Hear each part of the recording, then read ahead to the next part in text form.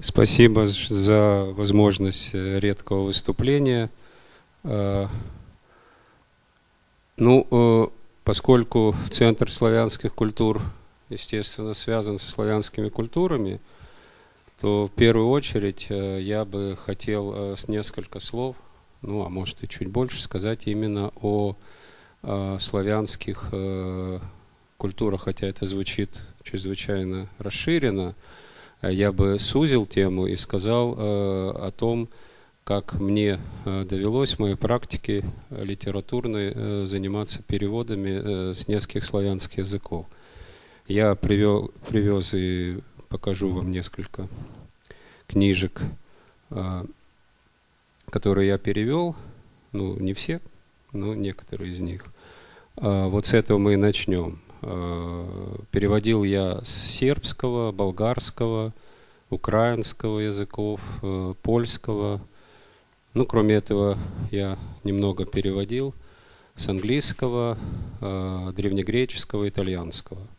В той или иной мере все эти языки я знаю, какие-то свободно, какие-то на техническом уровне, ну, скажем, древнегреческий, поскольку я изучал самостоятельно, то с текстами работать могу. Но если встречу древнего грека, то придется с ним на сербский переходить или на древнеукраинский. Ну, украинский у меня родной язык, один из моих двух, я билингва. А, возможно, поэтому так легко мне всегда было изучать э, языки. Вернее, их даже не изучал. Скажем, сербский язык у меня а, автоматически выучился просто когда я жил в Сербии. Так получилось, что я там бывал неоднократно. И бывал там еще в пору, когда это была единая страна Югославия, а затем в период санкций, и даже несколько раз был в Косово, был до оккупации, был после. Э, в какой-то период там читал лекции в Прищинском университете. И как-то вот автоматически язык э, выучился. Но я даже не думал о том, что буду переводить, хотя познакомился там с прекрасными поэтами, познакомился там с философами, богословами, психологами различными. Есть очень интересная Белградская школа. Это несколько у нас до недавнего времени совсем неизвестных, а сейчас уже относительно начинающих какой-то э, иметь, ну не то что успех, а какой-то отклик э, авторов, э, с моей точки зрения, очень крупных, э, высокого европейского уровня. Вот о них я вначале говорить буду. И э, случайно совершенно, когда я здесь находился и читал античную литературу в Библейско-богословском институте, э, мой, мой коллега вдруг после моих восторженных рассказов о том, какая блестящая современная философская мысль в Сербии, предложила сделать перевод автора, которого здесь вообще никто не знал, ну вот кроме меня, такой Жарко Видович. А, я с ним познакомился в Белграде, бывал у него дома. Э, и когда прочитал его книгу, он мне несколько своих книг подарил, я просто э, даже не поверил, потому что, с моей точки зрения, это вот философ масштаба Хайдегера, Аристотеля, Ницше. То есть просто крупнейшая фигура, даже не европейская, а мировой философии. И вот когда вдруг случайно мне предложили переводить, причем для журнала «Современная драматургия», а, я тут же согласился, это было начало 90-х, компьютеров не было, а, сейчас это сложно представить, переводил я а, от руки, потом перепечатывал на печатную машинку, поскольку там несколько языков было, греческий, латынь, старосербский, немецкий. Все это я вписывал вручную, потому что в журнале «Современная драматургия» не было шрифтов для иностранных языков. Потом они на меня смотрели с ненавистью и говорили, что очень жалеют, что со мной связались, потому что вот такой сложный текст а, единожды они опубликовали за всю свою историю и сказали, что больше не будут. А эта э, книга называется «Трагедия и литургия», и книга совершенно выдающаяся. А, к сожалению, отдельного издания нет до сих пор, но я вот э, начну с того, что я захотел один из трех номеров – этой современной драматургии, это 1998 год, номера 1-3. Там вот был напечатан журнальный вариант этой э, книги. Я о ней два слова скажу. Я не знаю, читать, конечно, прозу легко. Я могу все полтора часа занять тем, что буду читать. Но я надеюсь, что когда-нибудь книжка выйдет отдельно, и для тех, для кого современная мысль важна, она а, так или иначе дойдет. Даже в интернете эта книга а, висит только первая часть, вот, благодаря стараниям человека в желтых штанах. А, а вторая, третья не существует пока в природе, это надо сканировать. Вот. Ну, все впереди. А, идея этой книги, чем она меня потрясла, а, заключается в том, что Видович, это первый из всех вот за, за 20 э, веков, за 25 веков существования античного театра мыслителей, который задал вопрос, казалось бы, предельно простой и ясный. А почему э, в древнегреческом э, агонах, соревнованиях трагедийных, всегда в обязательном порядке греки должны были писать три трагедии. Ну, это все знают, там, любой человек, который учился на филологических факультетах – ну или у меня, об этом знают. А почему три? И вот Жарко Видович стал исследовать, до нас дошла одна трилогия Аристея полностью, дошли э, описания нескольких трилогий и других, и Схила, и Софокла. И вот он сделал совершенно потрясающий, очень неожиданный вывод, в большой степени оспаривающий идеи и Аристотеля, и вслед за ним возрожденный в XIX веке Ницше идея о том, что трагедия – это спектакль, это театр. Вот. Э, он предложил совершенно новую концепцию, она развернута, доказана. Концепция эта восходит от тому, что у древних греков было особ, особое трагодийное, как он это называет, мышление, которое включало в себя три стадии. Это э, стадия испытания, стадия смерти героя, вторая часть вот этой трилогии, и стадия воскрешения героя или прославления. А, и он приводил примеры, что вот это трагедийное э, или трагодийное, чтобы брать термин устоявшаяся трагедия начала, э, затем было утеряно в тот момент, когда э, из культа театр превратился в зрелище, и вот Аристотель уже описывал древнегреческий театр исключительно как времяпрепровождения там, и увеселения, или как жанр. Ну, поэтика Аристотеля как раз об этом. А вот эта трилогийность ушла с его точки зрения затем в литургию. Литургия православная строится на э, той же самой идее. Испытание, смерть, распятие Христа и прославление Его воскрешения. Э, дальше он стал исследовать, как это работает уже в средневековой, возрожденческой, современной литературе и э, обнаружил, что есть несколько авторов, которых вот это трагедийное начало сохранилось. С его точки зрения, например, Шекспир из э, древнегреческой трагедийности взял только вторую часть. Э, Жарко Видович называет ее драма страсти. То есть, когда есть только смерть героя, но никогда нет воскрешения. И вот он указывает на Сервантеса, Дон Кихот, и на э, братья Карамазова Достоевского. Если вы помните, финал братьев Карамазовых – это слова Алеши о воскрешении на камне стоящем, а, произнесенные его ученикам.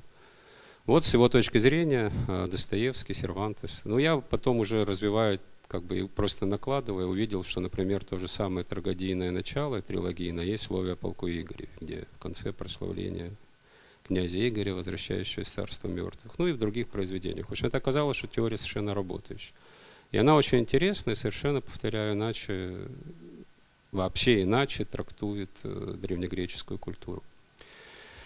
Вот. Ну, э, возможно, да, переводилось мне очень м, непросто этот текст. Дело в том, что Жарко, он, хотя философ, причем философ такой профессиональный, он сам преподавал философию в Загребском университете, в Белградском, и в Германии, в разных местах – а, пишет он как поэт, то есть никаких сносок нету близко.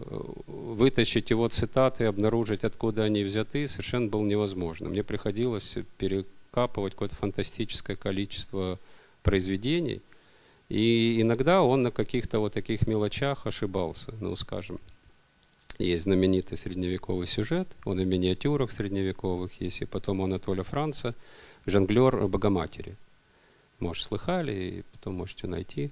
Очень красивый такой сюжет о том, как в одном монастыре явилась Божья Матерь, и каждый монах, и каждый, кто в ней был, в этом монастыре был, хотел показать ей и проявить себя с лучшей стороны. И там оказался вот этот жонглер. Напомню, что жонглеры в то время это были э, не современные циркачи, это были такие бродячие поэты, полуфилософы, там, полуциркачи, ну такой вот как такие странники Божьи. И каждый из монахов э, говорил, вот я могу поститься там круглый год, вот я могу прочитать там что ну, «Отче наш» могу читать там в течение суток или тысячу поклонов, я могу там левитировать в своей и так далее. А жонглер этот, э, Богоматерь, он ничего этого не умел. Молиться он не умел, левитировать не умел. В общем, не... Единственное, что он умел, это он умел вот э, жонглировать и что-то там какие-то вот такие трюки или какие-то свои стишки, э, возможно, вполне, на наш взгляд, такие масс-культурные. Там, я не знаю, конечно, прямо не приводится, но если посмотреть на средневековую э, лирику площадную, то она, в общем, ну, в Российской Федерации была бы запрещена в связи с использованием нормативной лексики. И он э, не знает, что делать, и вот Божья Матерь ему говорит, ну а что ты стоишь? Вот все же показали, как они служат мне, а ты? И он говорит, я вот ничего не умею, вот я вам, давайте я вам спою и прожонглирую. И начал это делать. Когда он начал это делать, он вошел в такой раж, так захватил его, это вдохновило, что он просто там как-то невероятно читал эти стихи, жонглировал, пел, плясал. Все это прямо в монастыре во время службы. И когда это все закончилось, Божья Матерь говорит всем этим монахам, вот посмотрите на этого э, простого человека, потому что все, что он сделал, он сделал максимально, как он мог. Да, удивительная, совершенно очень глубокая притча. А у Жарко э, Видович э, этот сюжет там передает и говорит, что это у какого-то немецкого писателя. Я полез в немецких писателей, я уже не знаю, там, я перечитал э, всех известных мне, неизвестных писателей. Потом я стал обращаться к каким-то специалистам э, по всем немецкой литературе. В общем, все мне в один голос говорили, ну нет такого произведения в немецкой литературе. Каким-то германистам крупным. Вот. У меня был учитель э, в литературном институте, такой Станислав Бимович Джимбинов. Совершенно ну, человек сверхуникальный, который мне невероятно много дал. И вот когда у меня не было уже возможности ни с кем консультироваться, я позвонил к нему и говорю, Станислав Бимович, где в немецкой литературе есть э, сюжет э, «Жонглер э, Богоматер»? Он говорит, Саша, это Анатоль Франц. Мгновенно, не думаю. Я открыл, увидел, что есть. И сделал сноску. Вторая была примерно такая же, когда Жарко Видович сослался на термин Канта «целеполагание». Я опять перечитал всего Канта, этот термин не нашел. Но это переводы. Я стал общаться с германистами, потом вышел на специалистов по Канту, которые его читали на немецком, все вместе мы стали искать, не нашли. Вернее, нашли там что-то близкое, цель, попытка поиска цели. Я снова позвонил Станиславу Бимовичу Джимвинову и говорю, Станислав Бимович, может, у вас есть какой-то главный специалист по Канту? Он говорит, Саша, какая проблема? Я говорю, ну вот э, термин целеполагания. И он говорит, там какой-то труд, страница такая-то. Я открываю и вижу термин. Он такой был феноменальный человек. И вот несколько его подсказок на уровне сносок мне э, помогли там не запутаться вот в этой творческой свободе жарко. А с другой стороны, его было чрезвычайно э, радостно переводить, потому что э, действительно это была очень свежая, яркая мысль, он очень ярко пишет, много афоризмов, которые переводить сложно, но интересно. Ну, я из его перевода все-таки это проза, и как бы мысль не улавливается. Ну, просто какой-то маленький фрагмент, чтобы было понятно, что это, какого рода этот текст.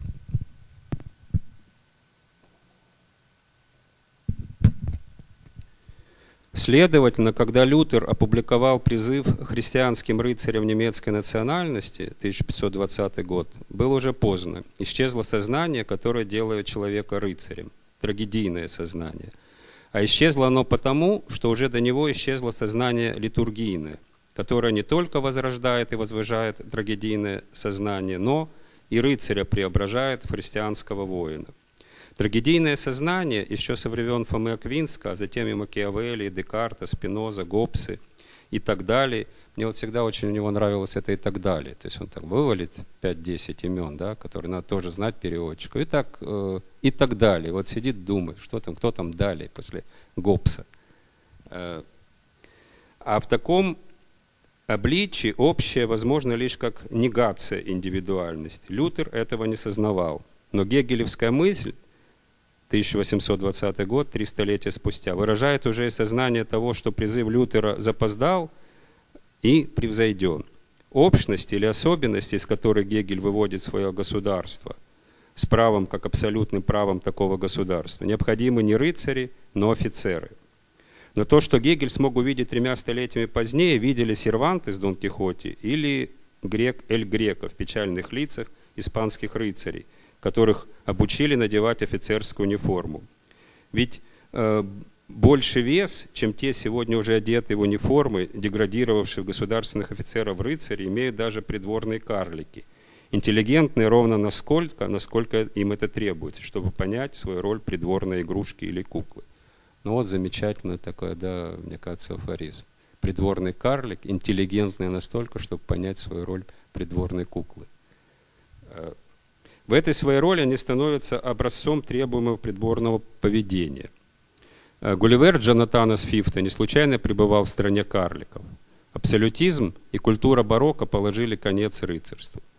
И Дон Кихот умирает в запрошенном селении только перед самой смертью, осознавая свою ненужность. Трагедия, следовательно, невозможна, как осуществление рыцарства и героизма, но возможно только при сознании излишности рыцарства в новое время. Ну, то есть вот э, я хочу сказать какой-то маленький фрагмент, но вот весь этот текст, он абсолютно новый по мысли был. Вот все, что здесь пишется, и каждый автор, которого касается, совершенно какой-то другой и очень необычный ракурс. И живописцы, и философы. И совершенно удивительно была вот смелость Жарко Видовича, который ну, просто спокойно пишет. Аристотель не прав, Ницше ошибается. Хайдегер далек от метафизики и доказывает.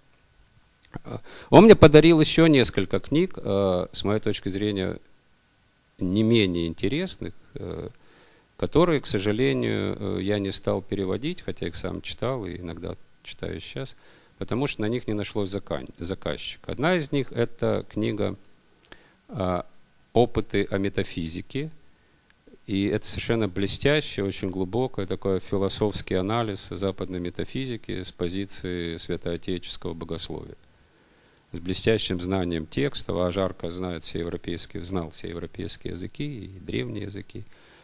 Это вот такая толстая, очень яркая, интересная книга, где он вступает в спор э, западной метафизикой, там условно от Канта и до Хайдегера.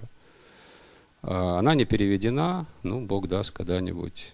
Такое у нас есть тоже славянская жемчужина. Вторая его книга «Теологические опыты богословские», она вообще уникальна, потому что он мне эту книгу подарил, свой экземпляр со своими э, комментариями, там, сносками, такой рабочий. И это тоже удивительная книга. То есть это один из таких очень ярких э, сербских философов. Он недавно умер, к сожалению, наследников у него не осталось, и в этом смысле авторского права тоже нет. Вот странным образом тот перевод, который я сделал, он принадлежит мне. Даже не, не потому, что я этого хочу, а потому что некому на них обратить. Вот. А второй автор, которого я переводил, он э, стал сейчас достаточно известен. Это Владета Еротич. Вот как раз такой лидер э, белградской этой группы.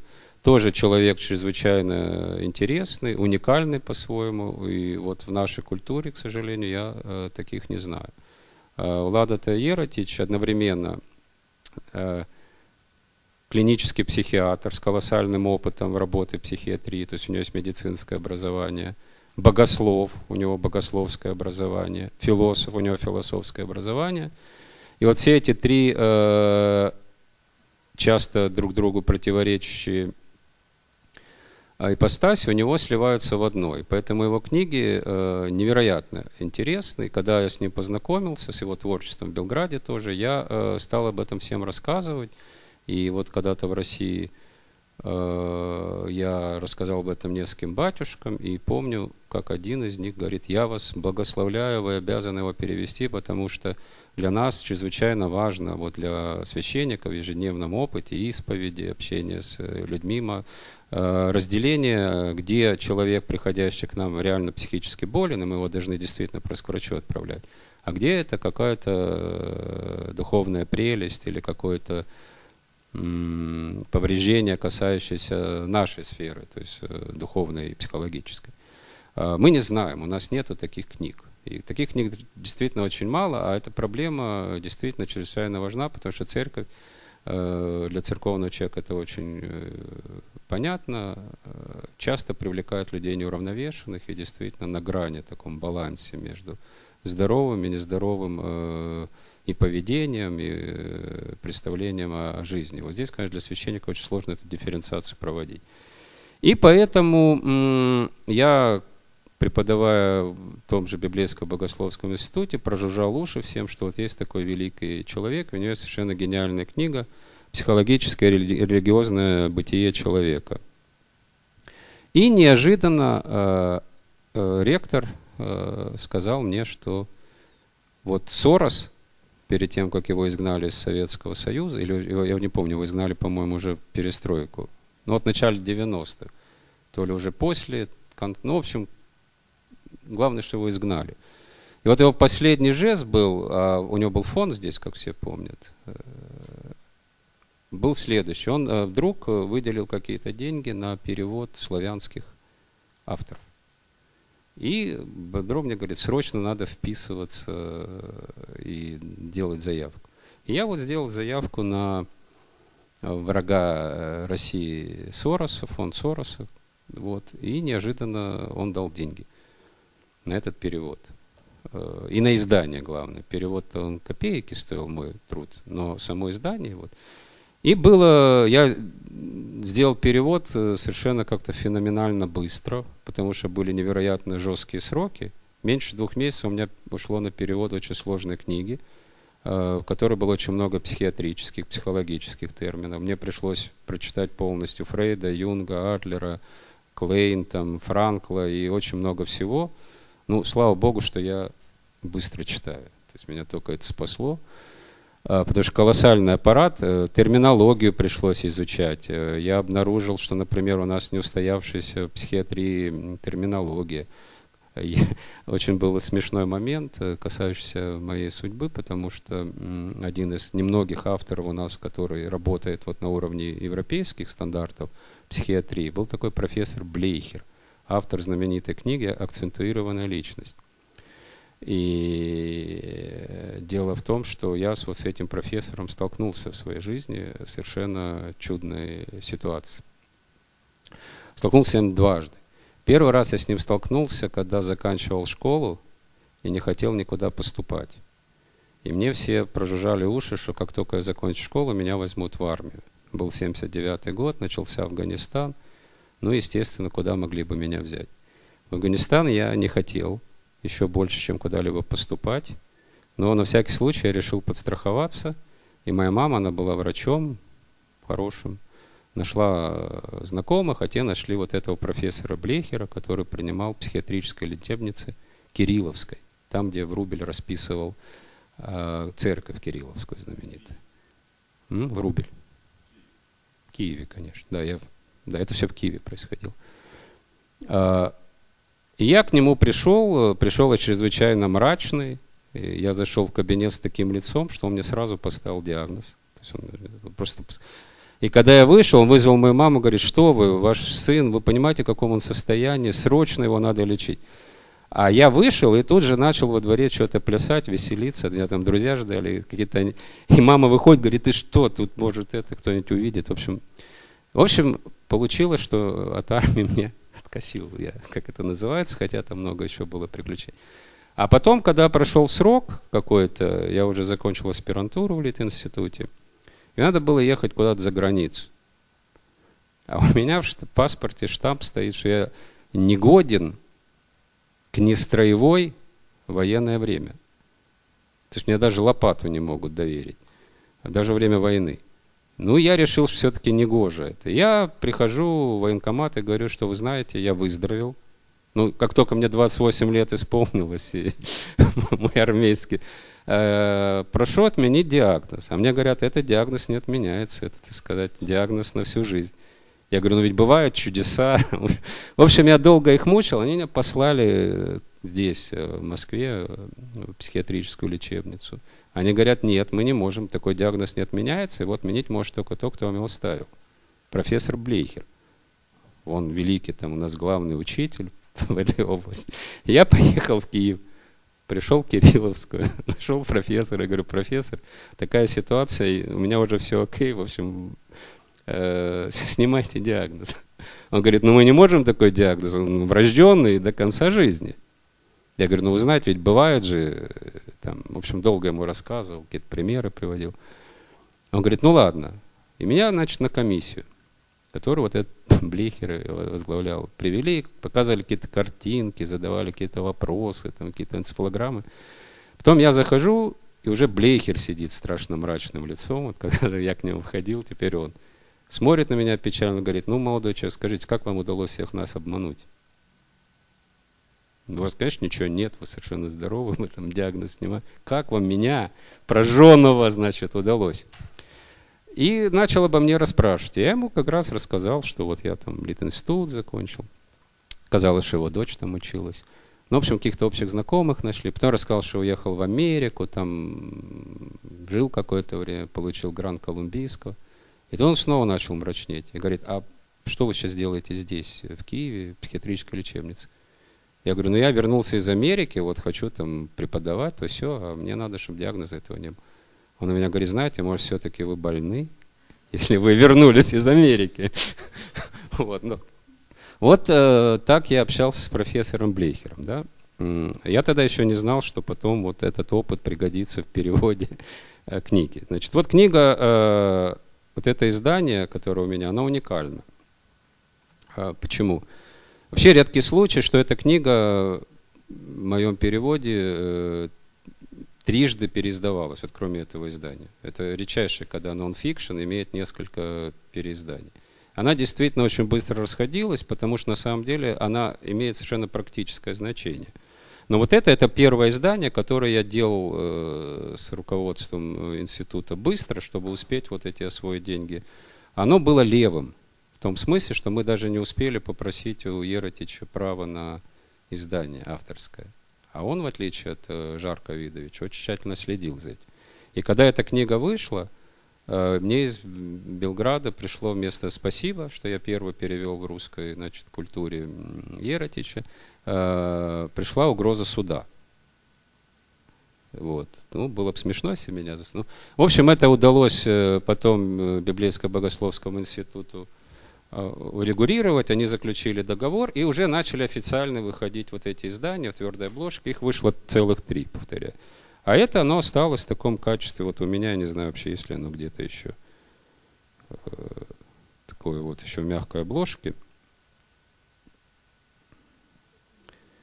Вот. Э, я, кто хочет, потом может посмотреть. Я просто отсюда прочитаю Э, содержание э, состоит из нескольких частей. Теория и практика психотерапии, культурологический тип психотерапии и человек между психологией и религией. И вот э, в этой книге есть несколько глав, которые, скажем, мне лично э, помогли. Вот, например, глава «Кризис художника», который э, Еротич э, исследует, причем именно как психиатр, Э, биографии целого ряда известных э, писателей, художников, ну, естественно, Ван Гог, Кавка, Гоголь, вот эти персонажи, Гессе, ну, те, кто так или иначе напрямую связывались с э, психоанализом или э, такой плодотворный материал представляют. И очень интересно и глубоко анализируя личность художника, выделяет в художнике вот такой механизм деструкции – Потому что художнику для того, чтобы создавать какое-то произведение, э, всегда необходимо что-то разрушить. То есть это в самом даре э, находится. И поэтому художник всегда пребывает в такой пограничной ситуации. Он никогда не может до конца, э, как, как творческая личность, быть доволен тем миром, который вокруг него. И не потому, что он там ипохондрик, и это совсем не касается даже каких-то его психических нарушений, а потому что такова природа творчества. В ней есть вот этот э, элемент деструкции.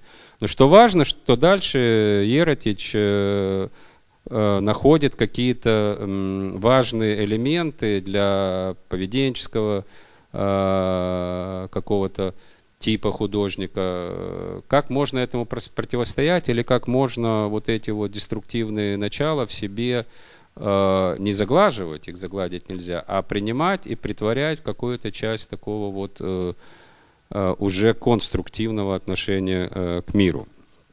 И поэтому эта книга э, очень интересна для самых разных людей. Вот и тех, кто пишет, и тех, кто, скажем, занимается с молодежью. Например, там есть глава «Потребность в идентификации и противодействии авторитету в процессе психотерапии молодежи».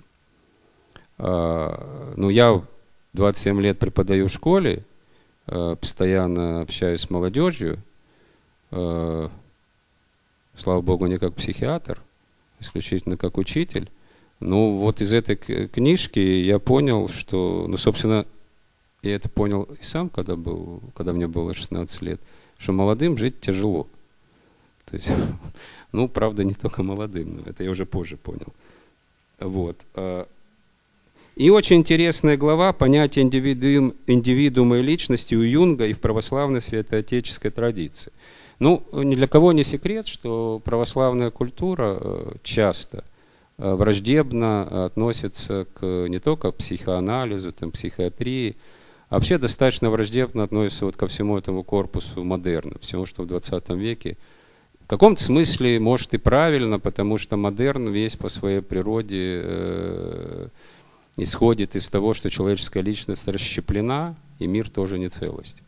А христианское сознание исходит ровно из обратного, что человеческая личность целостна, и мир, во всяком случае мир богозданный, это мир целостный. А, конечно, тут конфликт есть. Но конфликт э, можно преодолевать как? Пинками, а можно глубинно, понимая логику того, с кем ты не согласен, э, там видеть э, рациональное зерно. Оно есть и у Фрейда, и у Юнга, оно есть и у Делеза, и у Хайдегера. А, и вот э, удивительно, что вот сербская культура в этом смысле, как такая европейская настоящая, в отличие от нашей, совершенно спокойно оперирует вот всем этим корпусом э, европейского модерна. Это, это, это здорово, мне это всегда очень нравилось. А, и поэтому книга Еротича для меня тоже была чрезвычайно интересна. Вот когда я ее перевел, и она стала распространяться, э, ко мне вдруг уже неожиданно поступил заказ из издательства Московской Патриархии. А, учебник э, для Духовной Академии э, по пасторскому богословию. Э, и э, я перевел книгу «Христианство и психологические проблемы человека». Она издана была уже издательством Московской Патриархии. А, когда я начал переводить эту книгу, главный вопрос, который мне задавали заказчики, был следующий. Александр Юрьевич, как вы думаете, а вот, а вот наши православные поймут? Я говорю, ну почему, если сербские понимают, наши не поймут, что наши глупецы? А, Александр Юрьевич, а вот наши студенты в Духовной Академии поймут – и я говорю, ну а, собственно, они для чего студенты в духовной академии? Чтобы учиться понимать, если не понимают. Поэтому, если там есть какие-то проблемы сложные, так это же наоборот и есть. Ну, в общем, э, опыт был такой немножко странный, но книга переведена.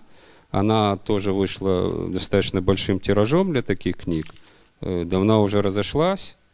Э, и э, мне тоже есть очень важные, полезные, э, не только интересные э, какие-то советы по работе, например, с проблемами, там опять вот детства, проблемами старости, проблемами такого религиозного минимализма и максимализма.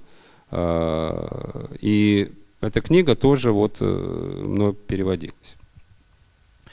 А кроме этого, я перевел несколько статей э, моего близкого друга, такого академика Елышича. Это современный, чрезвычайно интересный философ, который, филолог, э, который тоже входит в эту белградскую школу вместе с Еротичем. Это вот такая группа сербских э, европейских интеллектуалов, а при этом православных христиан. Вот она в этом смысле очень интересна.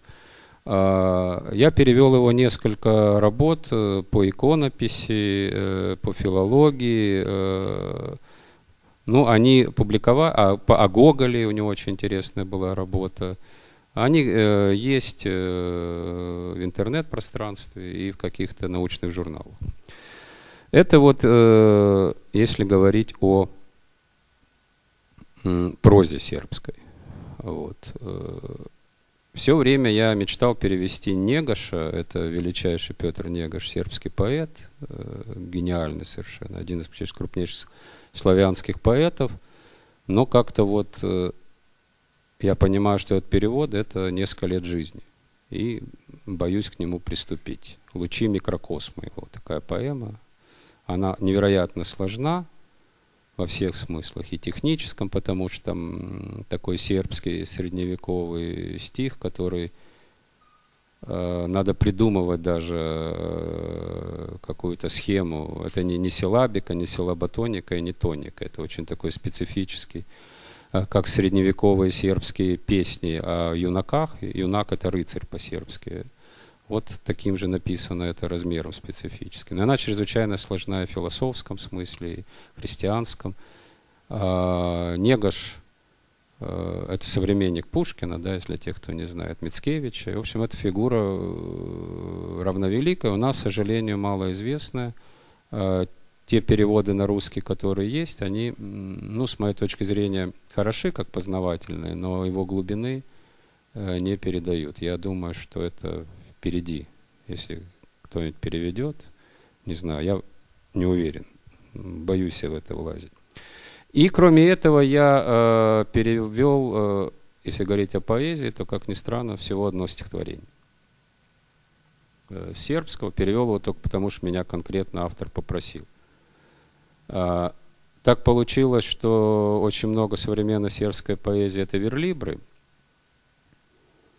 которые я читаю с удовольствием, но переводить мне их не интересно совершенно. Э, хотя это, наверное, сложно, но вот не знаю как. Это стихотворение я прочитаю. Э, я перевел почему? Потому что автор, который попросил у меня сделать этот э, перевод, перевел много моих стихов на сербский язык. И мне было сложно ему отказать. Я очень долго отнекивался. Я говорил, что я не, не, мне сложно переводить стихи. Это правда. Стихи вообще нельзя переводить. Тоже правда. Любой перевод хуже оригинала. Я ему все это говорил, говорил, объяснял, что даже если великий переводчик, все равно это хуже, лучше пусть изучают русские читатели сербский. Но он не отставал, и, в общем, я вынужден был этот перевод сделать. Вот. Ну и сделал я его вот еще по какой причине, почему все-таки. Потому что это стихотворение посвящено Радовану Караджичу. А Радован Караджич, как вы знаете, приговорен Международным трибуналом э, к пожизненному заключению э, за геноцид. Э, ну, война, война в Боснии, знаете, Герцеговине. Там участвовало три стороны. А, но арестован был только представитель сербской, и он был объявлен вот преступником. А, с моей точки зрения, это ну, категорически неправильно во всех смыслах, и правовом, и политическом, и гуманитарном. Потому что если идет война, то, причем война этническая, религиозная, то в ней виноваты все, ну как минимум. Просто вот с некоторой такой позиции э, логики – а, поэтому либо надо судить всех, ну, либо тогда не судить и, я не знаю, каким-то образом там находить способ э, закрывать глаза, как это часто делается в Европе, когда им не нравится что-либо из того, что не вписывается в их картину мира, они просто делают вид, что этого нет. Вот нет и все. Поэтому я это стихотворение перевел. Не журих ти удоба она, кацу те героєм звали, ал садне к тебе церквсина звона позива, єрс мопали. Пронеси то мала земля сербська, увек бушнам чепу, да се не распне, да очврсне за данську окрепу. На радость свакої пропалиці, на угод свакої шуші, као увек зрише криці у песниковій душі. Свегласніє од як хуле, за пораз само ста само. Садкам сукрик наш мой речуле, често сам с тобой на само. Так это звучит на моем ужасном сербском. Так звучит в переводе. Радовану Караджичу. Не знал тебя во время она, герой чужого взора. Теперь зову, церковным звоном разбужен дни позора. В худом кармане персть землицы ты сохранил, Чтоб снова спаялись сербские крупицы в Тверь подвига благого. В угоду подлости отпетой, для услаждения сброда, Из раза в раз душа поэта взрастает крик народа. Все громче вал хулы звучащий, а мы в поражениях зреем, нас Мойры слышат, и все чаще с тобой наедине. Ну, вот это э, стихотворение замечательного сербского поэта Владимира Ягличича, который переводит, кстати, много современных русских поэтов, и это говорит вот о том, что русская поэзия в Европе интересна э, многим читателям, во всяком случае в Сербии. Угу. Спасибо, Юр. Так, значит, э, перейдем к болгарской. Значит, э, что касается болгарской э, поэзии, э, опять-таки языка, э, болгарский язык я учил тоже, живя в Болгарии. Э, у меня мой однокурсник и в одной со мной мастерской поэтической был такой один из самых известных и ярких современных болгарских поэтов Бойко Ламбовский. А, мы с ним чрезвычайно дружили, да и сейчас, хотя почти уже не видимся, он редко здесь бывает, э, проездом на выставках книжных. И обычно э, уже, когда здесь бывает, он успевает выпить только с главными редакторами и хозяевами издателей, а, так сказать, до простых э, людей уже он не успевает, потому что надо лететь обратно. Вот. Я э, переводил его в институтские годы, и, э, к сожалению, вот копался несколько дней, никаких переводов его не мог найти. Ни его, ни еще вот с украинского моего замечательного друга, поэта Ивана Андрощука. К сожалению, э, они где-то есть, но вот не удалось мне. Но зато вот э, уже в последнюю секунду, отчаявшись, я обнаружил э, журнал или альманах «Слово», вот, я его даже покажу, потому что это было первое неподцензурное советское издание, официально разрешенное в 1986 году. Я лично его пробивал в главлите, а, пол, полгода я это занимал, для того, чтобы студенты Литинститута могли издать свой самиздатовский, по сути, номер. И в нем было много людей, которые впоследствии, ну, не классиками, но чрезвычайно известны. Вот здесь впервые были опубликованы Леонид Костяков, а, Наталья Лясковская, Бойко Ламбовский, Максимова, э, Миломед, Степанцов, знаете, это такой сейчас известный э, лидер группы Бахыт Компот. Раньше он был э, лидер э, куртуазных маньеристов, была такая группа. Ну, а в то время это был такой очень скромный студент из Рязани, элит института. И здесь я неожиданно обнаружил два моих перевода Бойко Ламбовского. Вот э, я их сейчас прочитаю. Вернее, один даже. Я фрагментик на э, болгарском, который у меня еще хуже, потому что я последний раз произносил болгарские слова лет 25 назад. Вот. Э, ну, болгар здесь нету. Ну, тогда мне нечего бояться. Излыняла игрочка, фалшив, и полявочки звяр, асем ребус на медер. Защо те просто страшно, да розбиєш капака в сандики, к'єдете сипар. Но до ката ти няма, понякога гледам ключалката, і настрихвам внезапно, і плизва по кожета ток. Сяка ж малками трябва, сяка ж толкова, толкова малка, і не стигне до тебе, скрасив заплештитель скок. Нека дразним лва, даже мертве лив, даже този, до напрено впалячо, се своя сандик примирен. Не всички сме прски от Бога, зривал своя мозик, зата щупає цето, кадета бетей свершен. Ну вот фрагмент, я понимаю, что вы ничего не понимаете, поэтому не буду длить муку и прочитаю уже мой перевод. Бой Коломбовский. В гармоническом саду твоей жизни все чинно, но знаешь, нереальни пылинки, нелепи травинки в руке, на глаза появляюсь, как плюшевый львенок родная, обнаруженный вдруг в позабытом тобой сундуке. И поэтому так ненасытно ко мне приникаешь, чтобы тотчас забыть, отшвырнуть, и уже не глядишь, над прической колдуя дрожишь, и меня забывая, гармонической тропинкой к мужу и дочке спешишь.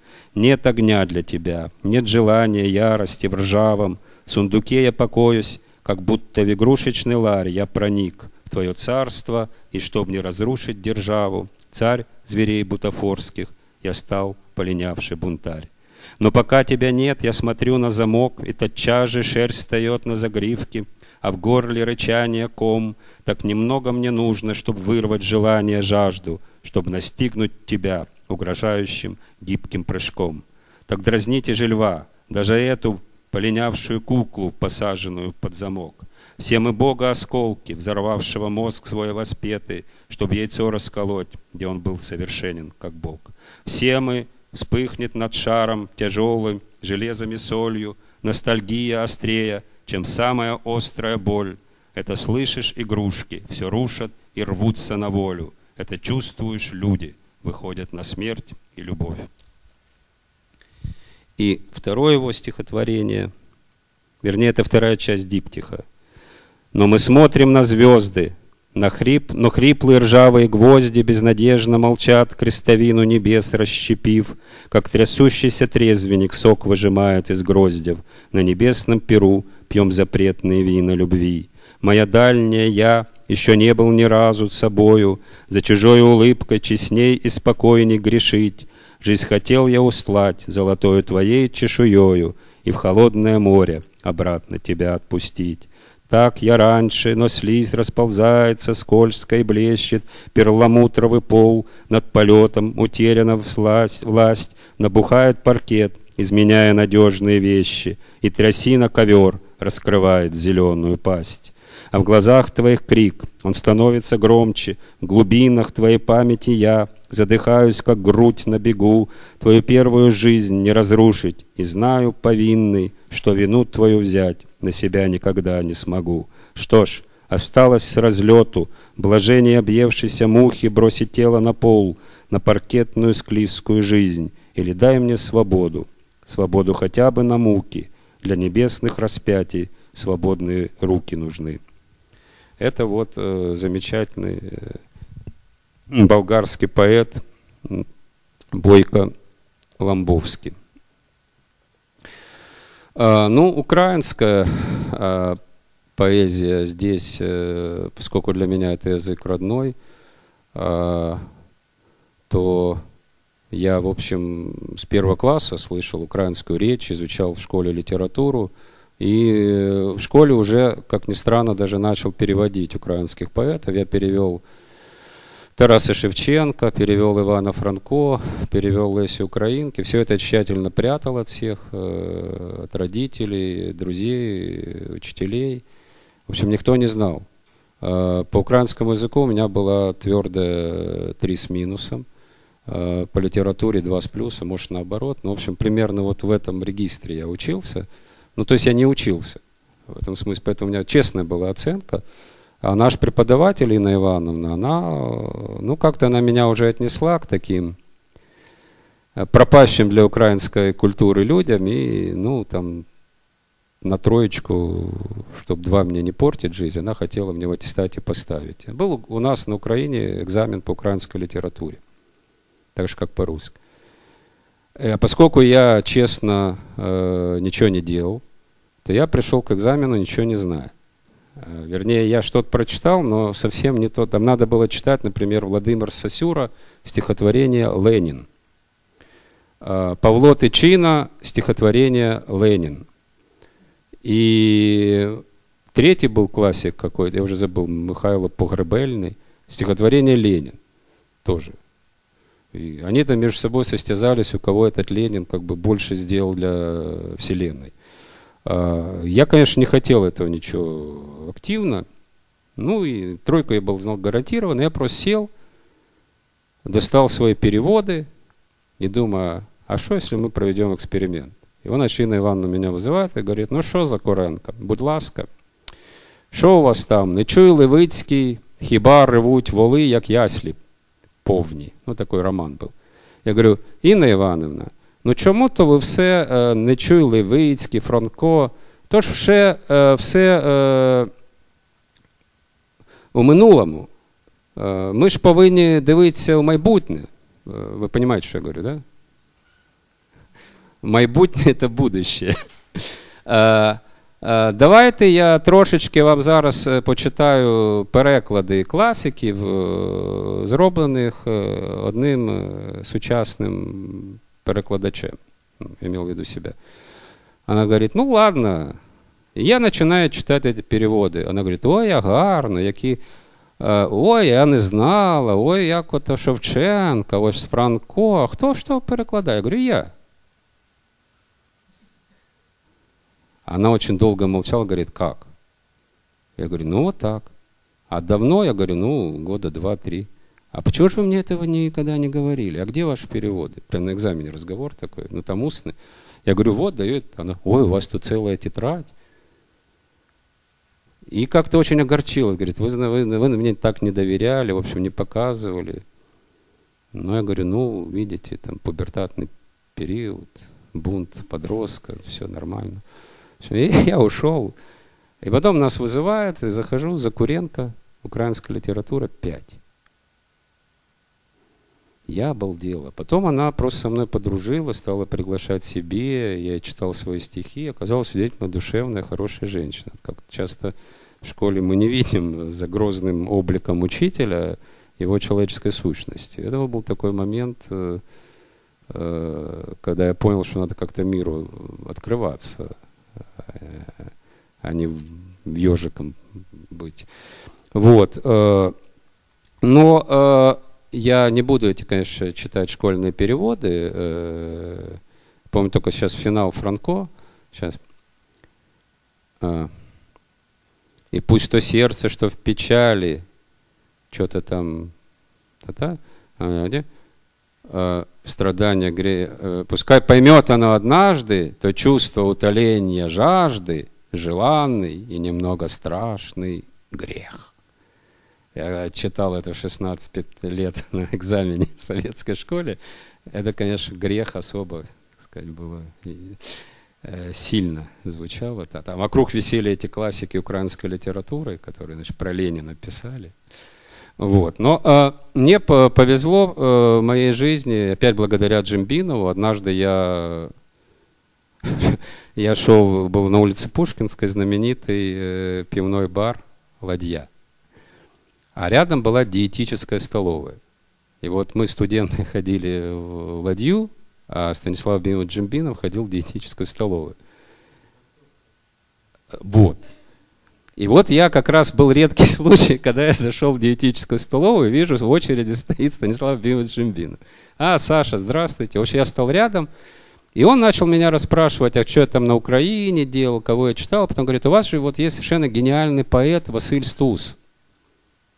Просто гениальный. Уровень там Бродского, Тарковского. Ну, в общем, просто Мандельштама. Я говорю, да я не первый раз о нем слышу. Он очень удивился, говорит, ну что вы, ну это просто стыдно для вас, тем более в Киеве. Он и, и И он мне дал какие-то координаты, я приехал в Киев, в общем, я познакомился с сыном Стуса. Стус в это время сидел в лагере, э, был абсолютно категорически запрещен, за него сажали, за его стихи. Э, сидел он уже второй раз, там он в лагере, кстати, и погиб. Но я познакомился с его сыном, Дима Стус, он тогда учился еще в школе, и Дима дал мне э, стихи, переписанные им от руки. Отец ему из лагеря, прямо из тюрьмы в письмах писал пи- э, стихи. Естественно, это не могло быть опубликовано, и Дима переписывал. У меня эта книжечка сохранилась, и это, конечно, вот такой совершенно потрясающий э, культурный артефакт. Слово грубо, я не знаю, можно сказать, что это просто потрясающее свидетельство вот о этой жуткой жизни в Советском Союзе, когда сын вынужден стихи своего отца из лагеря переписывать книжку записную в единственном экземпляре. И он мне их доверил. Я вот не знаю, как-то мы с ним, но он поверил мне. Теоретически я мог быть и стукачом, кем угодно. Да? И вот, э, когда я стал читать стихи Стуса, вот в этих еще без какой-либо, они не были даже не напечатаны. Понятно, что вариантивность еще не была отсмотрена, ничего. Сейчас там собрание, диссертации о нем, колоссальная библиография. Это был 86 год. А, то я понял, что вот, во-первых, это оказалось невероятно сродно мне. И поэтому это вот единственный раз в моей жизни, когда я переводил стихи просто потому, что ну, это было мне лично нужно. И вот я перевел большой корпус стихотворений Стуса, вот с того же времени. И, возможно, я был один из первых переводчиков и один из первых публикаторов. Во всяком случае, вот в библиографии там указано среди первых публикаций Стуса на русском языке вот такой замечательный журнал «Грани» ну, за который тоже в советское время сажали. Он выходил в Мюнхене, его издавала НТС, это была запрещенная у нас в советской стране антисоветская организация. Но вышел он уже, когда журнал «Грани» был разрешен в этом, потому что ничего страшного не было в этом уже. Вот. И э, Стуса я перевел много стихотворений, и я несколько из них сейчас э, вам прочитаю тогда. Да, надо сказать, что переводы Стуса э, невероятно э, интересны э, в поэтическом смысле, потому что Стус – это поэт, э, который поднимает э, очень редкие пласты э, речи. Э, есть слова у него в его стихотворениях, которые не знают даже украинские академики. Это мне сын Дима говорил.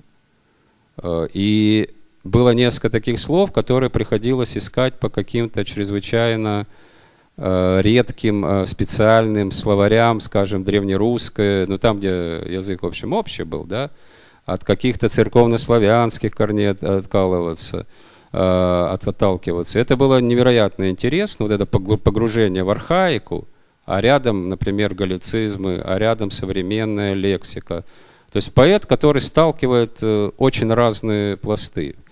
А второе, э, очень такое свойство Стуса, он невероятно такой протеичный, гибкий поэт. У него вот нету какого, скажем, ну вот Бродский начинает писать, там, Ямб, Анжаман, и пошло километры.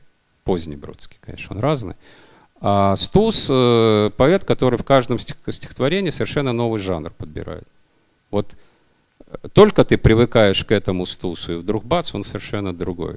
То трагичный, то гармоничный, то политичный, то политичный, то метафизичный. Это тоже очень интересно, и для переводчика такая сложная задача, находить всякий раз какое-то аналогичное звучание.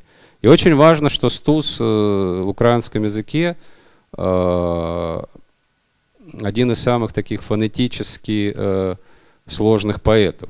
Украинский язык чрезвычайно мелодичен сам по себе, это понятно. Но а, Стус очень часто как-то сталкивает слова. И вот эта задача попробовать найти аналог в русской, она э, непростая, а, хотя язык вроде очень близок. Поэтому э, для меня э, переводы Стуса растянулись на много лет, и некоторые из них, некоторые стихотворения переводил по несколько лет, пока не находил вот окончательно. У меня было стихотворение, которым я аналог слова стусовского искал больше года. У меня целая тетрадь была исписана синонимами, морфемами. Не мог я подобрать слово, которое бы, с моей точки зрения, соответствовало варианту Стуса. А, вот. Э. Вот это в гранях называлось «Страсти по отчизне». Э, это было к десятилетию смерти Стуса. И дожнив не дожил, зелень жита не жал, даже не долюбил, и не жил, и не жаль. Коротенько. А, трены э, Николая Григорьевича Чернышевскому. Ну, напомню, трены или френы – это жанр, э, восходящий к античному надгробному плачу. Скажем, 24-й песни Илиады э, над телом Гектора – Э, троянцы исполняют вот один из таких первых нам известных э, тренов. «Народу моему, когда простится тебе предсмертный крик и тяжесть слез расстрелянных, замученных, убитых по Соловкам, Сибирям, Магаданам, держава полусолнца, полутьмы, ты в чады тленья винчена, откуда тебя непокаянный трусит грех и размочает дух укор сомнений». Сходи с ума над бездной, балансируй, загромождай в саму себя дороги, всемирный грешник, ты его узнала, свет за глаза тебя не убежит. Безумие порыва в ритма, в рвань, все перелет, из пекла прямо в рай, и надвисание в смерть, и эта жажда растлителя, весь белый свет растлить, и все толочь, толочь, избитую жертву, чтобы прощение вырвать за свои нечеловечьи зверства. Это слишком означено на душах и хребтах но слезы те испепелят тебя, и лютый схлип завихрится стажала по всей земле, и ты тогда поймешь, как вновь цветет уничтожимость рода, своей кончины собственник, судьба все чувствует, все знает, ничего не позабудет, не простит ни горсти. Ну, я все, вот еще так. Четыре ветра полощут душу, в кувшине синем стеблина яра — в воронке гнева свет заверюха чернит безумья, шатай воды. Хвост помела, прильнул к колчану, и небокрай вороноконный прихорошился дурман сирени, во тьму и крики, слова и кровь. Новогородцы, новогородцы загородила дорогу плетью в кувшине синем стеблина яра, как белый бисер, холодный пот, о белый свет сто черта главой, а притча причнин, куда податься — расхристан гривою вороною, путь небокрая к рыдай реке. Ну, это большой цикл, я прочитал два фрагмента. Вот стихотворение, которое мне Дима говорил, что он очень у отца не любит. Это стихотворение было написано накануне первого разъезда, э, ареста Стуса во Львове. Э, я как раз, поскольку родился во Львове, Э, конечно, ну понятно, как сын мог относиться вот к этому моменту биографии его отца, но я все-таки с других позиций подходил. И вот это стихотворение мне показалось у него одним из самых ну, для меня таких важных.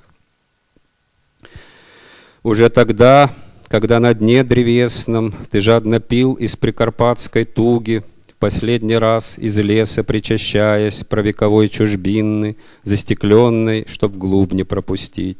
Уже тогда, когда, коснувшись круче торопливой, цеплялся немевшими руками за ветви скользкие, уже тогда шаги сбивались в хаосе кореньев, и дрожь колючая пронзала икры, и сердце медлило, уже тогда, как вечер видения, одиночество лелеял среди видений фееричных бестий, Убрала мгла тягучие огни, И в желтых колбах памяти сокрыла. Беда в твой след, за следом вслед ступала, И впереди маячила молва.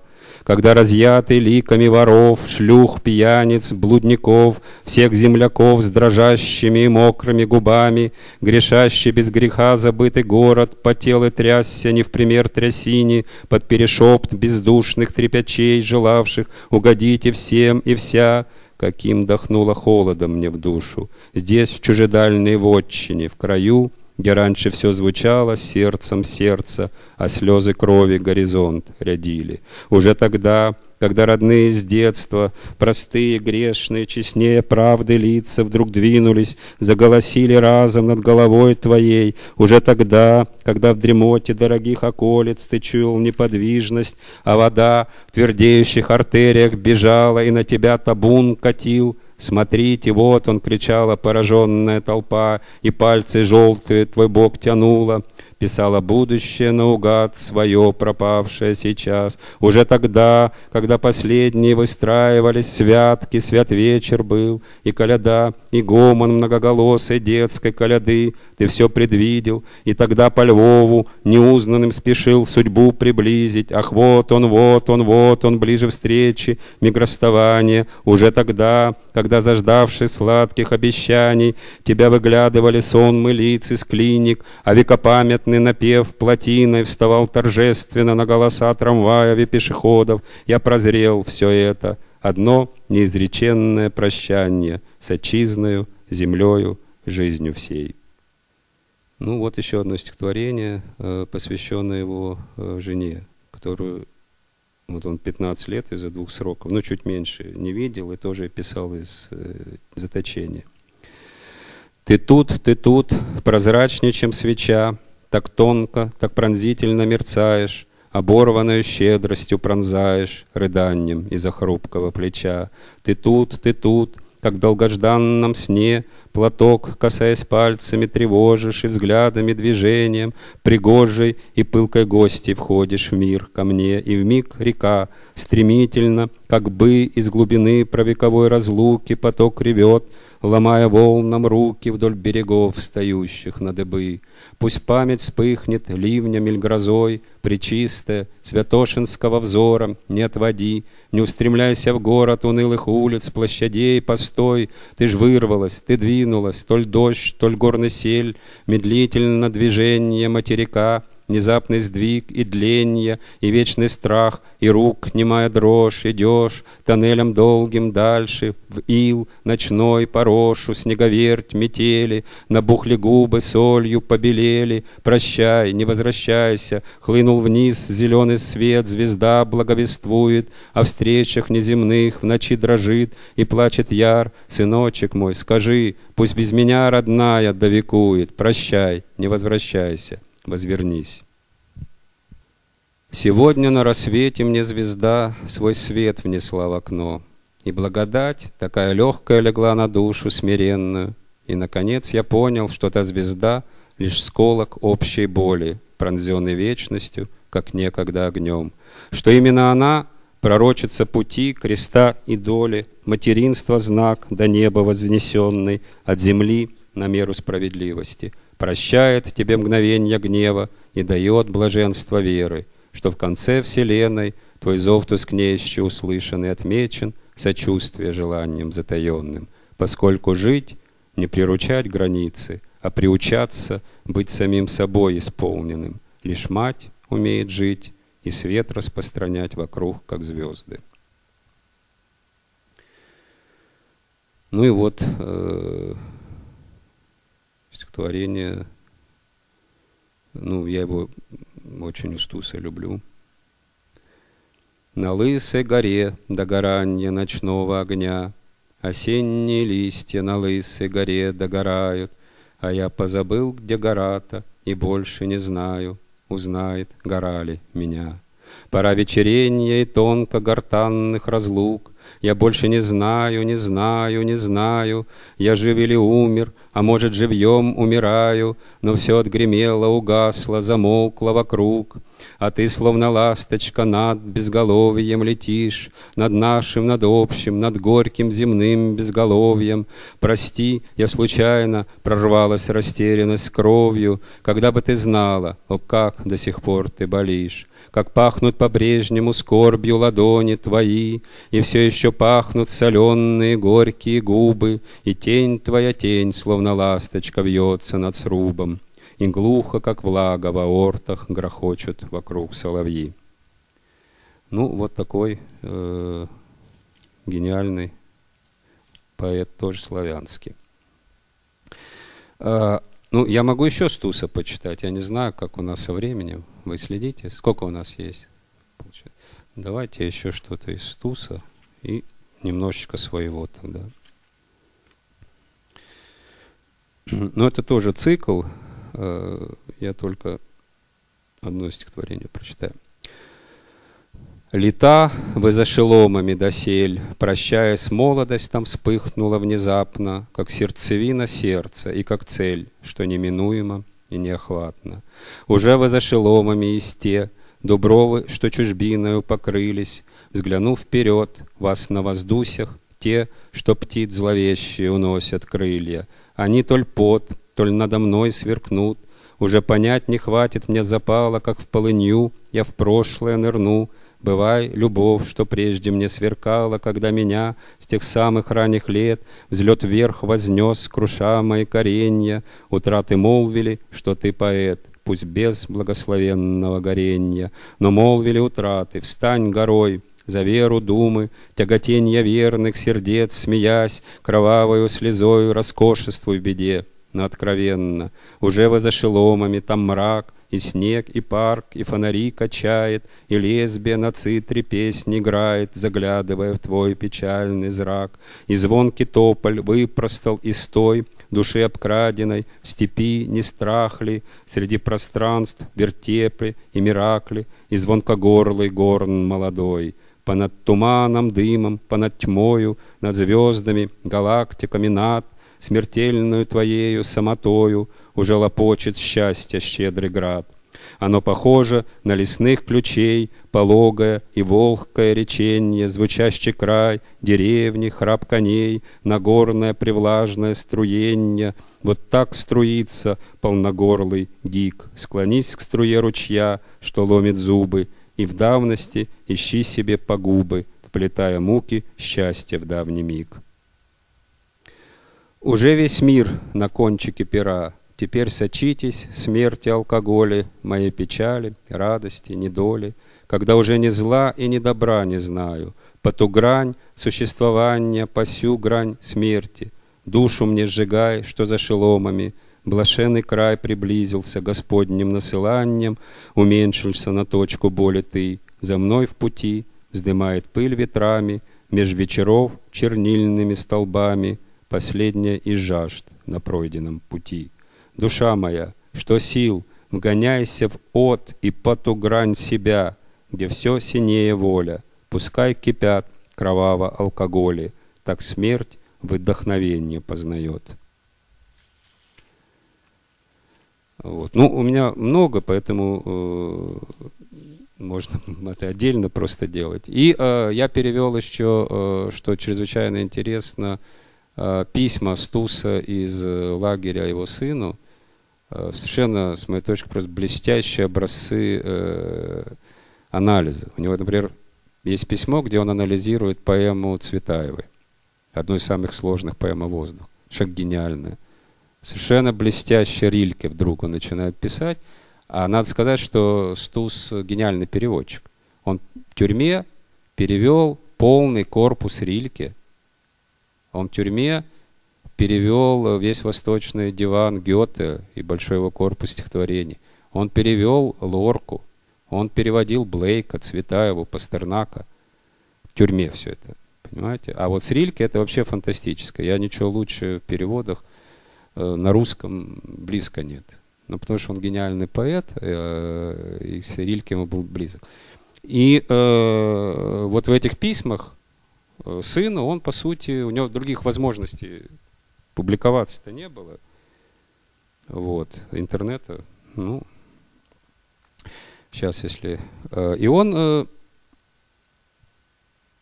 просто писал в письмах вот эти вот потрясающие э, если у меня откроется. Э, часть этого переписки была опубликована в журнале «Плавучий мост».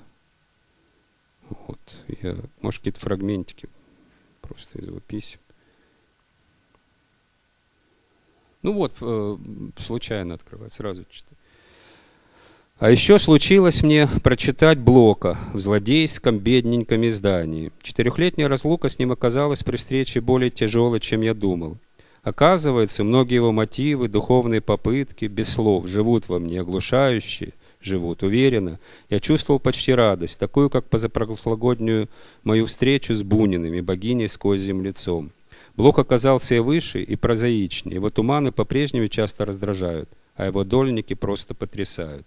И как слышен перезвон голосов, и Цветаева, и Ахматова, и Бунин, и Есенин, и немало поэтов последующих лет. Все тут. И сколько прозрения, глухого, испуганного, и капли ржавые лесные, родясь в глуши и темноте, несут испуганной России весь ожигающем кресте. Вот э, я просто такая ирония судьбы. Василь Стус – это как бы такое знамя украинского национализма. Вот большая часть в письмах, написана им, это о его любви к русской литературе. Он просто вот, блог, там, другие, понимаете? А, и а, я абсолютно категорически уверен, что Стус бы не принял идею монокультуры. Он был абсолютно человек европейской, очень широкий, я бы даже сказал, имперской культуры. В нем как бы вот эти жили голоса. Он мог и Бунина, и Пастернака, и Рильки, и Лорку одновременно. Он совершенно не исходил из каких-то вот таких идеологических схем. А некоторые прозрения, мелькающие, сознательно не осмысливаются, чтобы мотив соучастия в грехе не резал взгляда, скифы. О, это и вправду стихия, вправду ветер, вправду, хотя и далеко, предмаяковский, ибо клонился долу, а не самостоял. А попытки мне своего голоса – это что? Действительно, это мембрана своего времени, духа и веяния эпохи своей. Вот кого обшвыряло время. А он смог рано умереть. Ангельский мефистофельская душа. Ну вот такие совершенно вдруг блестящие фрагменты. Вот. На Великдень сидел дома и читал «Живи и помни» Валентина Распутина в тюрьме. Это прекрасный роман. Это отрада моему угнетенному сердцу. Вот. Э. Ну вот, э, прошу прощения, э, моя как бы позиция переводчика здесь не совпадает с его, но это интересные фрагменты, живые. Все мы, мордовленные, уже бессмертны. Мордовия – это рангом повыше французской академии, которая дает бессмертие.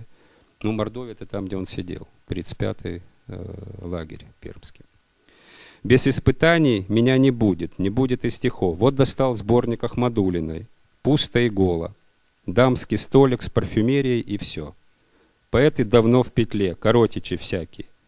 Их жалеете, а не меня, они несчастнее. Вот выйду на сопку скоро, прислонюсь к кедру, поцелую Иван-чай, синий печальный цветок сопок. Все сопки синие от Иван-чая, и защебечет в глазах и сердце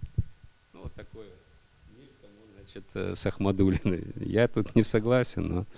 Э, ну или вот, вот, понимаете, какая жизнь духа, если человек в лагере, вот между этими карцерами, где он в основном сидел, пишет. В этом, да, его э, в тюрьме сделали операцию, удалили половину желудка. Он лежит в больнице. Пишет. В этом больничном ничего не делании вынужденно я несколько раз брался за рильки. Понимаете, вынужден. Мы как бы на свободе за рильки-то, когда беремся. Да? Но ничего не выходило, ни с сонетами, ни с элегиями. За элегии след браться сразу за все, ведь они как пронизь в маниста, прекрасны на низкие, а по отдельности уже не те. Но это дуинские элегии. Кстати, он их все девять перевел. Э, да, он знал немецкий, естественно, он переводил. Все элегии суховатые, рассудочные, с окраской специфичной для позднего поэта рефлективной эмоциональности. Он пишет о мире, будто вынесен за черту жизненного интереса, где-то на дороге смерти или в конце жизненной попытки пребывания. Это думы человека, а, что живет памятью о мире, памятью, что наглухо отгородило его от мира. Тут уже впору найти первые эмоции, впечатления, стремления, образ первого вокруг – Поэт заглядывает в ночной колодец своей жизни, встав напротив него, но заглядывает сквозь толщу ста приятий памяти. Через этот бинокль своих мертвых глаз он глядывается в космическую пустоту, смотря мир. Мир лишь нарисован на линзах памяти. И смысл этого вглядывания, самовглядывания или все себя вглядывания, ощутить поражение, ощутить это ощущение века, Автор смотрит глазами человечества на то, как закатывается зима существования, и каждый вымирает поодиночке. Это ситуация границы, ситуация самосознания, границы пространства, себя в границе пространства. Тут есть амбивалентность человеческой психологии, человека, которого сознание вынесло за край земли, инерция выслабившего инстинкта. Территория существования стала бескрайней, а из-за этого и само существование неочерченным. Это приводит к раздвоенности, самоотчуждению. Ну и так далее. Но вот потрясающая глубина вот этого ощущения, мысли. Э, и, конечно, я перевел только небольшое количество. Вот если бы все эти письма перевести, это, конечно... Ну или вот коротко, совершенно блестящее жест сдвига немевших форм, как в немом кино, как у Валерии. Бессмертие с черно-золотым покровом, а утешитель наш венке лавровом, на лона матери, зовущий всех. Впечатление от прочитывания стихов я не составил, поскольку тогда я жаждал от поэзии жара, не отказавшись от этого и сейчас, хотя существенно остудились мои требования, а еще более остудился я сам, перечитывая теперь некоторые цитаты из Валерии Голенищева-Кутузова, вновь поражаюсь холодом, будто притрагиваясь к промерзшему железу. Совершенно потрясающая метафора, да? Вот читать Валерий, как будто притрагиваешься к э, вот этому холодному железу. Э, это вам не доктор наук по филологических пишет, это поэт настоящий. Душа ведь что поток кривобережный, один берег зачарованности, другой неуверенности. Как же течь в воде? Ну вот э, малая часть. А, вот мне везет в этом смысле, что я могу по-украински читать все восемь томов Стуса, это потрясающе совершенно. Ну и э, так, значит, сербские, болгарские, украинские мы отметили, э, ну, немножко русские, славянские, так сказать, наиболее сложные. Я прочитаю некоторое количество своих стихотворений, просто последних. Жизни долгий посетитель, заблудившийся писатель, душ наивных развратитель, тел небесных воздыхатель. Я ищу свою обитель, я рубанок или шпатель, стружка, щепки, небожитель, попрошайка и податель. Я духовного носитель и духовного предатель, режиссер, актер и зритель, камень веры в мире капель, нот орфических даритель, знаков божеских читатель, жертва, вохра, обвинитель, то защитник, то каратель. Кто же я? Какой учитель выставит оценки в табель, вызовет к доске мучитель и грехов разрушит штабель? Где настигнет смерть коситель в битве среди звона сабель, чтобы стонов усилитель мегагерца гнал сквозь кабель, или там, где удлинитель жизни, совестный воятель, смерти доблестный гонитель, сердце, думчивый приятель, даст глотнуть мне закрепитель, и тоски моей издатель, прокурора сбросив китель, и просеяв, как старатель, комья слов, крупиц ловитель, обнаружит знак искатель, жизнь мою, где я числитель а Создатель, знаменатель? Я ли сам себе крушитель, я ли сам себя спасатель, или просто тайнозритель и надежды испытатель? Змоет в небо истребитель, вниз обрушится метатель, водородных тел воитель, энтропии почитатель. И останется кружочек, запятая, много точек, словно в первый миг творения, буквицы стихотворения. Как в том яру школы, вниз по тропке, За крапивою нежную для супа. Но почему же прошлое, как в топке, сгорает? Почему же заступ тупо стучит о дерево, о камень, о гранит? А почему же прошлое болит? Вот бабушка на кухне моет гречку, Вот спелые каштаны бьются озим, Как выстрелы в гражданскую войну. Вот мы на даче лопаем по речку, И вяжет скулы киевская осень, янтарному воздушному вину, припав допьешь, а там, на дне бокала, лишь времени оскомина дрожала.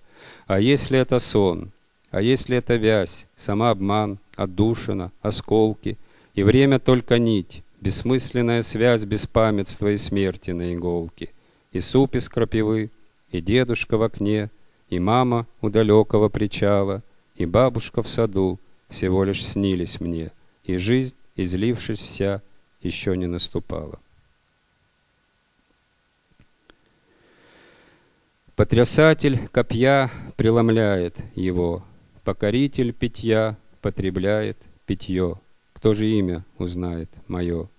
Калифорнии полдень, сладчайшая спесь, Дух магнолий, калибри, гуляющий здесь, как в раю, Это я или Гамлета сон, Или он неземной прародитель, Умереть и уснуть, вот на лошади белой Мимо Рейган проехал небесный ковбой, Это смерть или ангел — явились за мной на земле золотистой и спелой. Или будет деревня, сосновый предел, запах ладана и соловьиный прострел, хризалидного марта каурка и тяжелый парной от земли передых, и на дрожжах встающий сиреневый жмых вертикального тела губитель, или муромец нежных небес часовой, крестовой ездовой, он на лошади серой, Увядает калибри цветком на зале, И на этой родимой, на полой земле Только потом и страхом и верой. Ну, вот сейчас будут следы э, моих переводов психиатров. Ради этих мгновений письма, как сказал бы Делес, не размысливаясь, речь текла, расплеталась тесьма и манила ты кожею мысевую. Это древо вокруг, это ветви везде, Игдрасилем зовется пространственное, На планете фонарь, или Бог на звезде, Или шип сквозь межи государственные. Шизой мышью да в клеть, там, где матушка Русь, От глаголицы до кириллицы, Или плеть перебить, или вязь, или юсь, Или с Фрейдом в Израиль намылиться. Утром он никуда не может встать. Он лежит, как умерший Бог. Он расправляет в кровати стать и подводит жизни итог. Напрягается все, что способно жить. И затылок, и лобная кость, и артерии синеподобная нить, и душа, заглянувший гость. Что там в мире? Плачут, смеются, поют, пожирают близких, пьют. Если Ной был бы жив, то из кают он не вышел бы строк на ют. Что внутри у него? И потоп, и жил девять скользких кругов вниз. Тяжелые грехи. Если б голубем был, не взлетел бы сев на карниз. Этот смертный грех — неумение жить, невозможность грехи избыть. Что же с теми внешними? Плакать, ныть или к центру внутри скользить? Потолок, куда упирается взгляд, звездах, словно таки душа, словно маршал победы встает на парад, и шарниры внутри шуршат. Механизмы, колесики, весь прогресс, устремляющий тело ввысь, но он встать не может. Общий вес тяжелей, чем орай мысль. И лежит человек, что умерший раб, словно камень себя придавив, словно римский солдат подле камня, слаб, опирается на штатив. В микрокосмосе сквозь линзу он страхи зрит, и землю, и он сам на ней, отворяется камень, и он бежит, а в пещере светлей и светлей и лежащий встает, и маршал, и маршал сорвал ордена за убийство людей, и звезда в потолке черепной овал высотой повторяет своей. И воронка втягивает картину всю, пещера, камень, солдат, вал воды, иной выходит на ют и кормит из рук ягнят. Босфор – если цепь протянуть через пролив и разрезать воздух и воду, порыв погасить, утопить, под стеною накрыть, кипящей смолой, словно вскрыть нарыв, словно скрыть пространство и храм распять, словно леса древлянского цепкая пять или над инкуболой книгачей, и процеженный воздух в ячейках света расплескать по стенам, как плоть ответа, из-под купола в сорок лучей. Захлебнешься в лете, и цепь порвется, кто на стругах, кто в ступе, кто звено в кольчуге, кто в Босфор, кто в Калку, кто в Колыму. Тяжек трон рядом с поступью и находца, и пространство царское, ни уму не подвластно, ни позвонку в подпруге, что застывшая птица зрит на лету, то и будет звездою в зраке увоя. Крепостная стена раскололась вдвое, пало царство, и нет продолжения ему. Ну, я тут, может, маленький комментарий. Это стихотворение написано в Стамбуле, прямо на Босфоре. А, как раз, когда я смотрел на цепь, которой перегораживали э, славянам во главе с князем Олегом подходы к Царьграду. Вот когда я увидел эту цепь реально, вот возникло такое стихотворение. Но правда, у меня, в отличие от э, старца Филофея, как видите, после падения Константинополя, Третьего Рима нет.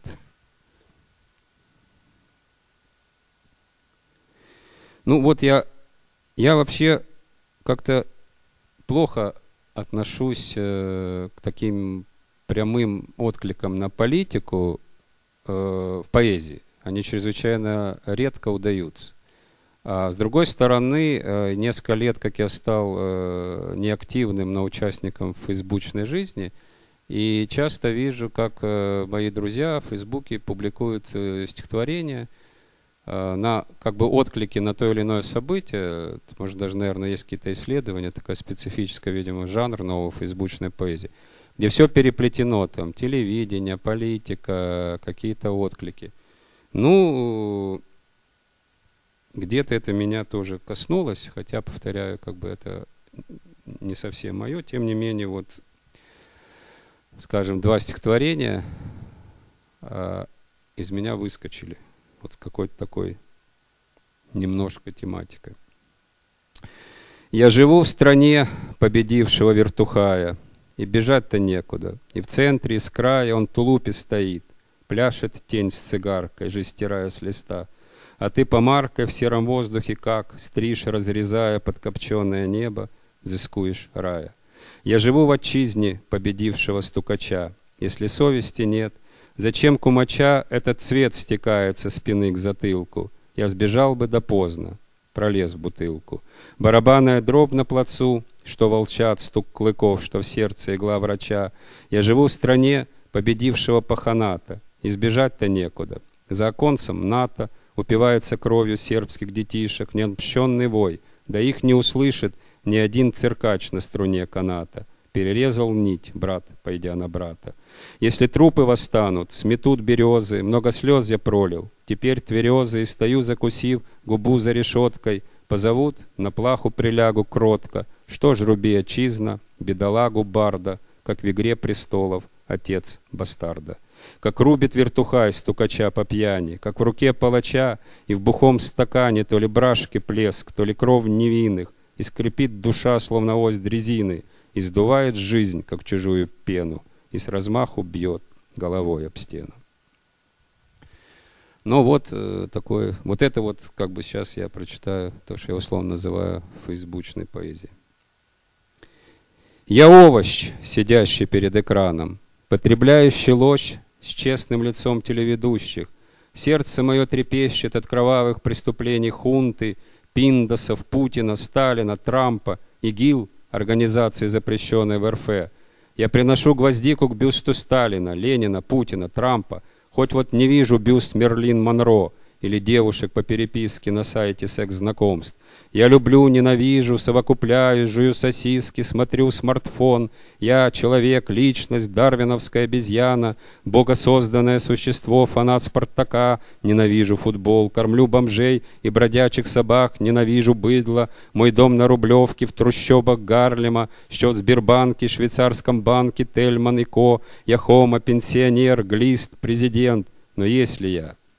В горах стоял рассвет, стихал Эол, Борей, палатки тент, росу, похожую на розовую воду, держал в ладони. Каменные своды вдруг разошлись, над голым ледником зажила звезда, похожая на ком, из дворового снега на бульваре, где вырос я, и будто все в пожаре вдруг вспыхнуло, и в мерности небес щербатая вершина отразилась, и слово, розовеющий отвес, соединил два слоя, эту милость открыли глубина и безвозмездный кряж, и грядка тишины, надежная, как страж, прекрасный телом, совершенный колос, вверх вытолкнула как, освобожденный голос и образ безглагольный наш.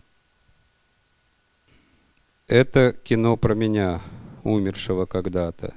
Кажется, я променял небо на область ада.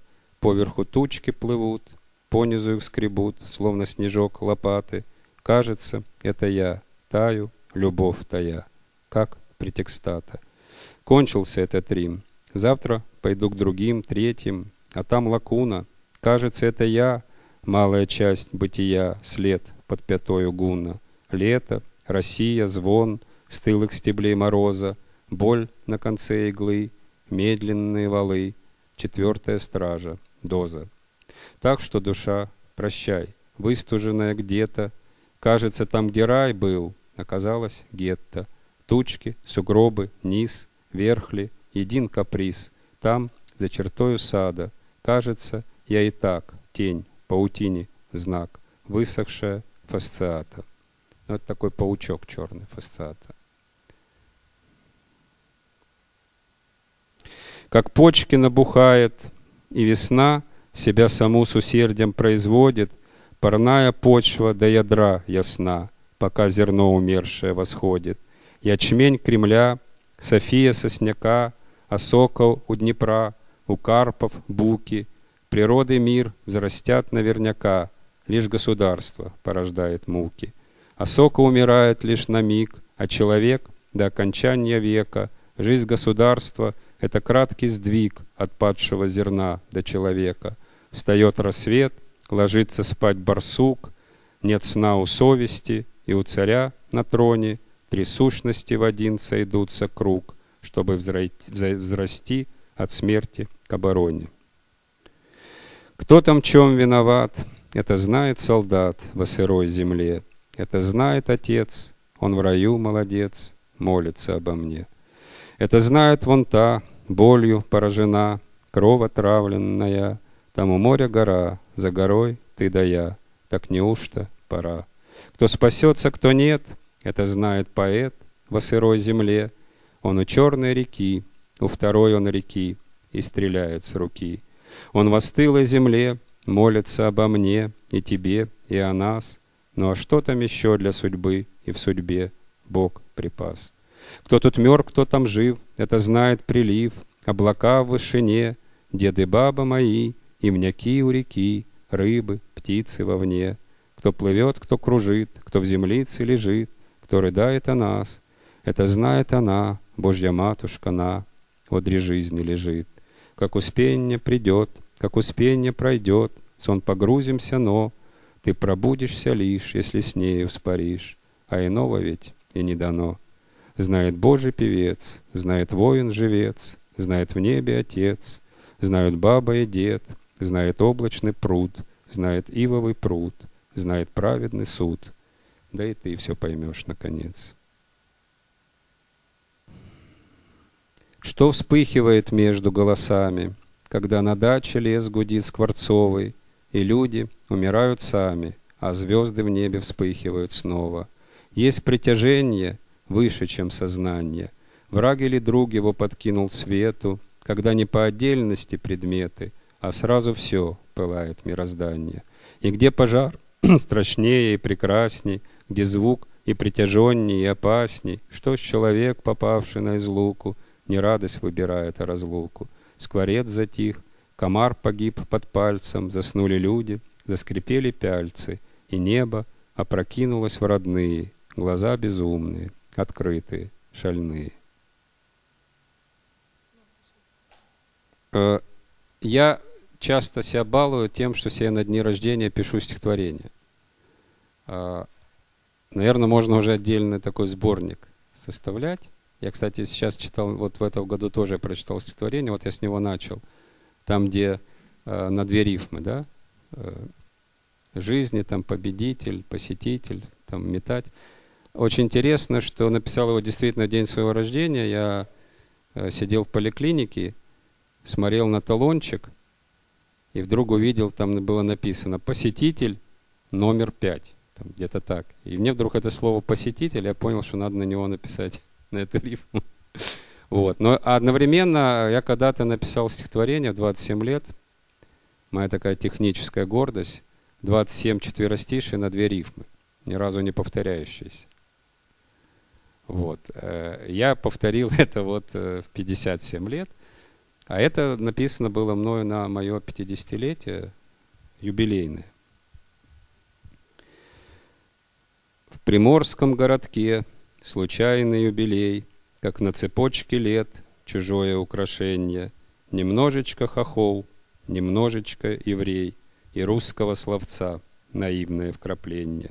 У трех империй я родился на краю Австро-венгерского готического рая, Шепольска незгене, шлымазал мать твою. Санек, давай пасуй, что ж хлопать, повбиваю. От прикарпатских чащ туда, где Борисфен язычников объял, как слово демиурга, от цареградских до кремлевских красных стен, от Жиздры золотой до Екатеринбурга.